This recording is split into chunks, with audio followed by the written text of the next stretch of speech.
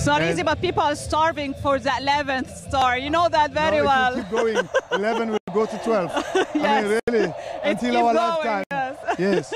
So, so I say to them, they must bear with us, be patient with us. We did not have the legs at the end. We, we really struggled. We did not have the legs. But they must understand that uh, fatigue caught up with us. And, uh, but we, we can celebrate being on the podium five times. I think it's good. Course. أنا كنت بسأل مستر باتسو يعني وجه رسالة للجماهير العريضة هو شكر كل الطقم اللي معاه والتيم اللي معاه وشكر قناة الأهلي على التغطية أيضا والدعم وبيشكر الناس جدا وبيقول لكم أو بيقول للجماهير اصبروا علينا وخليكم يعني داعمين لينا وإن شاء الله إحنا اوريدي عملنا إنجاز وإن شاء الله اللي جاي كمان هيبقى يعني شيء محترم جدا يليق أكيد بالنادي الأهلي.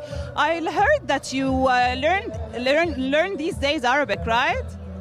Yeah, but uh, I'm, I'm trying. I have. Okay, let's have try, try, something. I have to try. We will end this interview by بحبك يا أهلي. I love Ahly. بحبك يا أهلي. بحبك يا Ahly. Yes. Goodbye. Thank Ahly. you. Thank you, Mr. Pitso. Thank you.